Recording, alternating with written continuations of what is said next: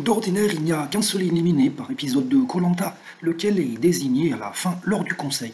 Sauf que cette fois-ci, Denis Brougnard a réservé une petite surprise aux aventuriers. Le jeu de confort était en effet déterminant. Les deux candidats les moins bons de l'équipe perdante devaient s'affronter lors d'un duel éliminatoire.